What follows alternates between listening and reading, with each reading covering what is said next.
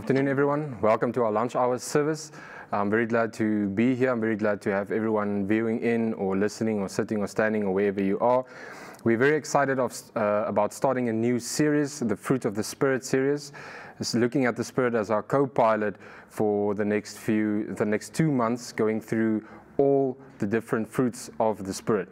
Let me open for us, and then we start our session from there. Father, thank you for your heart for this afternoon, Lord. Thank you that we can just be back here. That thank you that we can just come in front of you and in your presence in these next few minutes, Lord, where we can really just listen to your heart, where we really can just sit at your feet and just see and acknowledge the fruits in our lives, the fruit that you give us to use, the fruit that you that you supply to us to nourish us and to strengthen us. And thank you, Father, that this session is in your hands and that your heart will speak to each and every person listening. Amen. Right, so our main text will be Galatians 5 22 to 25. And we're specifically rolling out a series about this to see all the different kinds of fruit and standing still each and every week at one specific fruit. So I'm just going to read through the, the main text, and from there we're going to go into the first part that I will be um, talking about or discussing about today. The Galatians 5 22 to 25, you can just page in your Bibles, grab your cell phone, just go to that. From 22, but the fruit of the Spirit is love, joy, peace, long suffering, kindness, goodness, faithfulness, gentleness, self control. Against such there is no law, and those who are Christ, those who are Christ have crucified the flesh with its passions and desires. If we live in the Spirit, let us also walk in the Spirit. So our heart is specifically to stand still and not just discuss the fruit, but to see the working of the fruit in our lives. And that we can see that we notice that fruit of the Spirit is not works of the Spirit, neither is it fruit of the flesh. And to, to make it practical, um, within, within my own life, I've started, I've always had this dream of a bonsai tree, to start a bonsai tree, to start growing one. And it's it's quite a process. And shortly the uh, image will come up of the process that I've started with a small little camel thorn uh, bonsai tree. It's still very very small. It still needs a lot of nurturing. It still needs a lot of work to get to the final product. But looking into what we, we're working through with um, the topic that I'm going to handle today with, that we're going to discuss is the first fruit and the most important is love. Because within a bonsai tree as well that I've uh, the stories that I've seen the things that I've read about there's a lot of love that needs to go into that process a lot of love that needs to go into that bonsai tree to make it get to the end product. And as you can see over here I've got an end product and I've got the fruit. So later on we will be discussing what it takes to get to, to the end product. Just to read from here, the word works implies labor, strain, and effort. Fruit doesn't, fruit doesn't come from the flesh because our old sin nature can only produce works. In Hebrews 9:14 says, dead works. So the works of the of the Spirit can only come from the Spirit, not from us because we, as, as human beings, we've, we, are, we have a sinful nature. So we have to allow the fruits of the Spirit to guide us, the fruit of the Spirit to work inside of us. But the Spirit produces living fruit. This is in line with God's plan from the beginning of the world, where God said in Genesis 1:11, if you can just turn to that in your Bibles, where God specifically says, and God said, Let the earth bring forth grass, and the herb yielding seed, and the fruit tree yielding fruit after its own kind, whose seed in itself upon the earth. And it was so. And if we see here, this means apples will produce apples, and oranges will produce oranges. So if we look at, at, at the fruit of the Spirit, meaning love, as the first one, what does love mean in the time that we are living in now? What is, what is love if we take it back to when Jesus walked on the earth? When, he, when the fruits that went through him, inside him, walked out. And if we, if we are looking in the time now that we are standing in now, everyone is walking around with one of these. They either have it on like this and walking around because we must. And the challenge is for you to sometimes just remove this a little bit and smile to the person in front of you, to the person next to you, and then if you need to, put it on again. But that that is what we are missing at the moment. That is part of that to sacrifice something from your side to give that love out. It's living fruit because it keeps on living through the lives of believers as they plant seeds in the world. Now, looking at, at this specific bonsai tree, it, it really takes a lot of nurturing. It takes a lot of love to make sure that this tree grows into the tree that you want it to be.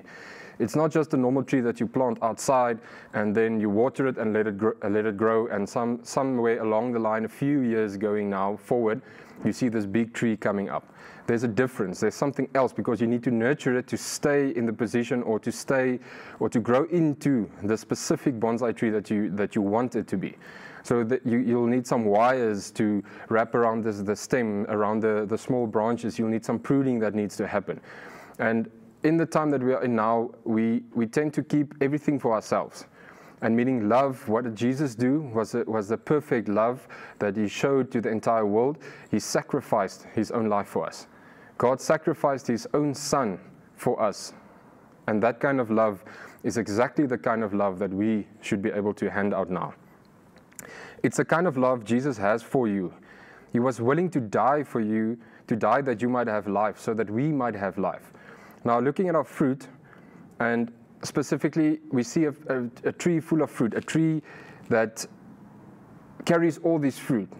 And then we, we, we as Christians, we as believers, hear that we should carry fruit, the fruit of the Spirit, and it's so amazing to hear all these things and love, and we carry this, this love. We, we are lovable people.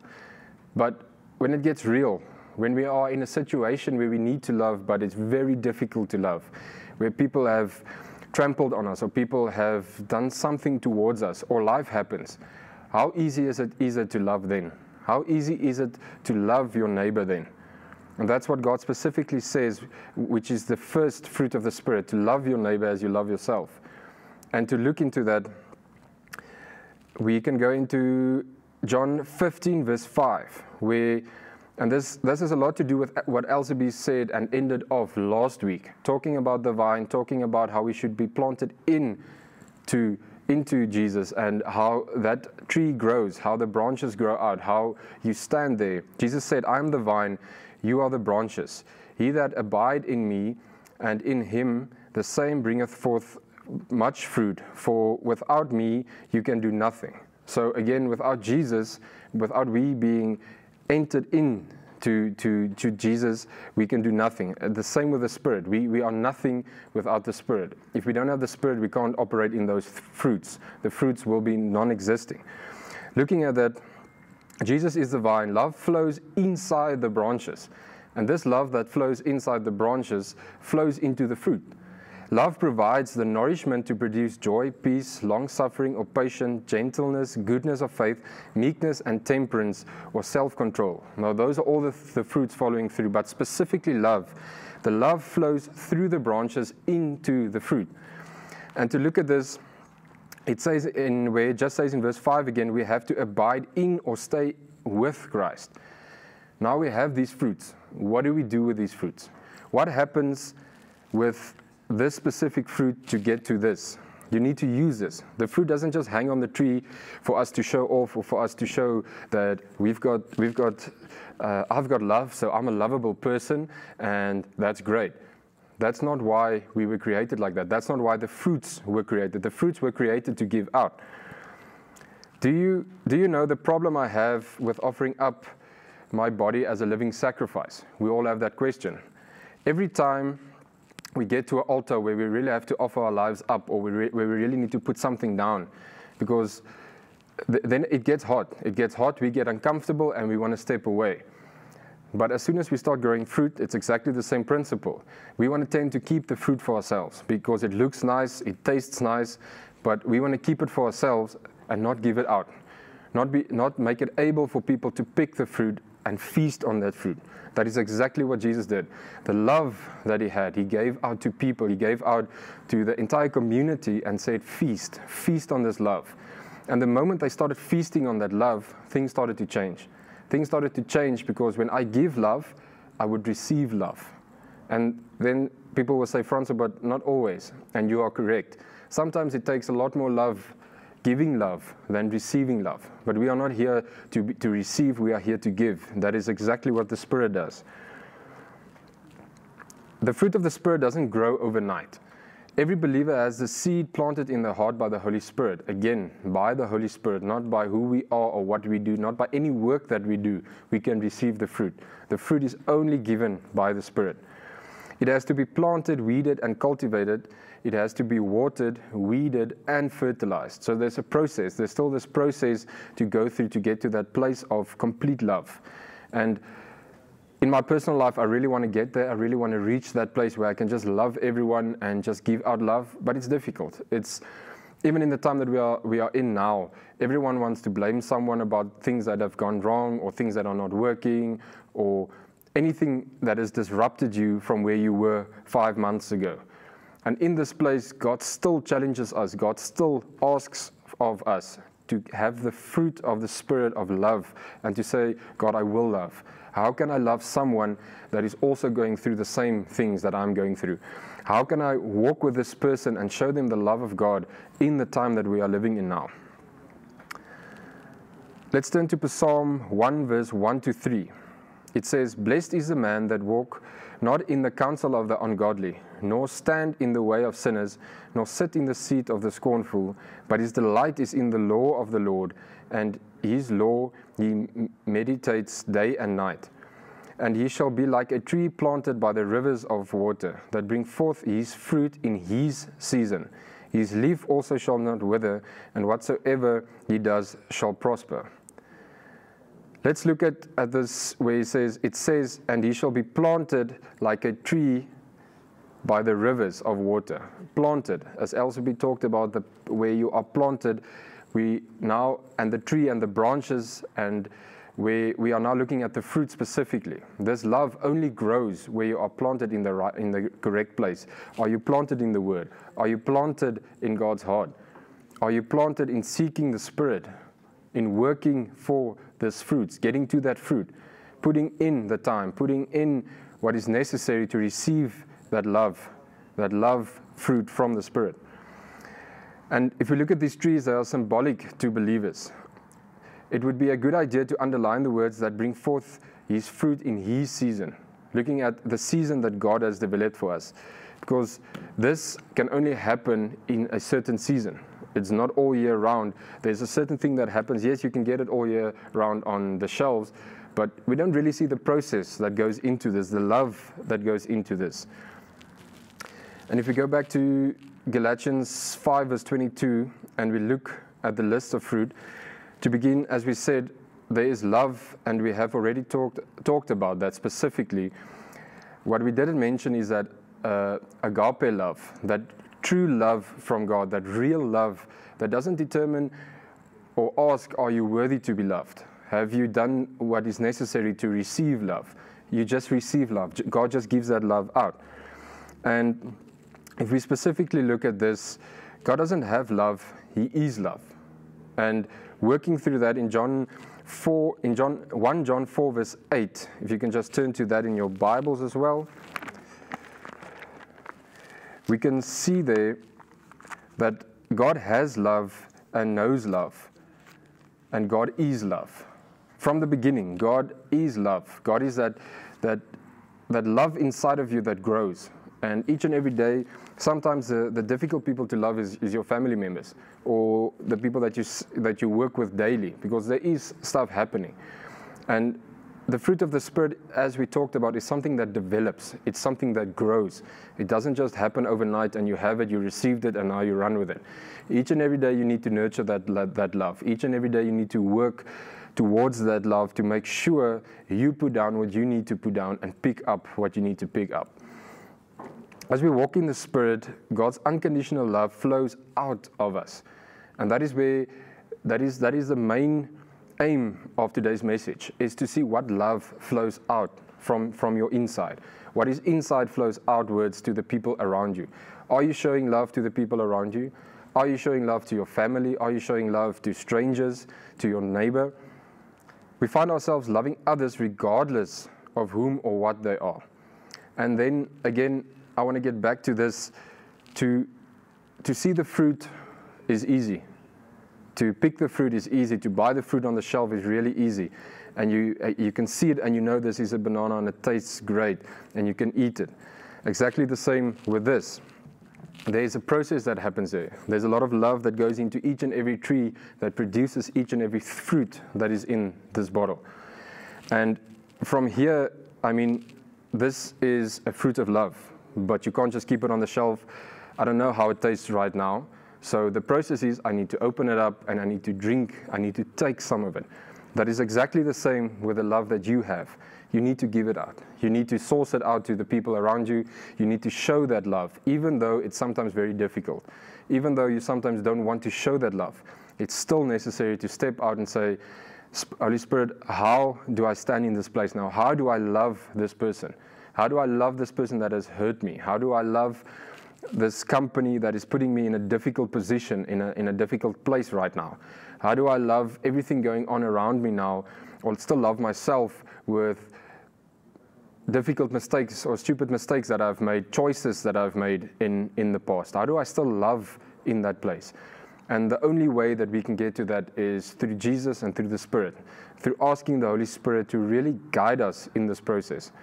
And looking back to that and saying, God, I'm standing at this place. And I've also been in a few different situations where it was very difficult to love, where I just told God, but I don't want to love these people. I can't love them anymore. I can't show love to them because then it will affect me. Then I will look weak.